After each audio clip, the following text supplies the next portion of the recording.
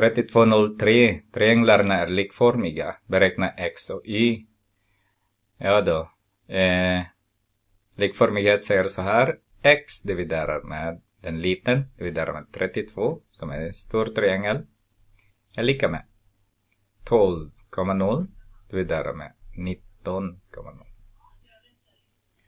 Så att om vi multiplicerar båda led med 32,0 32,0 så har vi, den här är 1 så har vi x är lika med eh,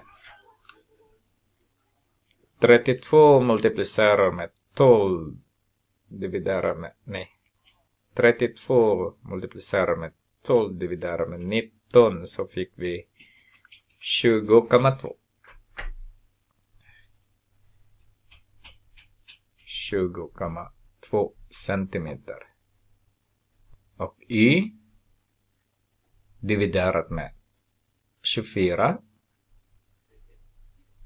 Det i den stora är lika med samma sak där. 12,0. 24,0 ska vara här.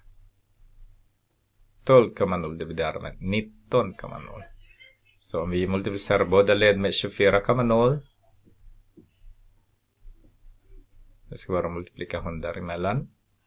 Så den här är 1. Äh, så har vi i är lika med 19. Nej, inte 19. 12.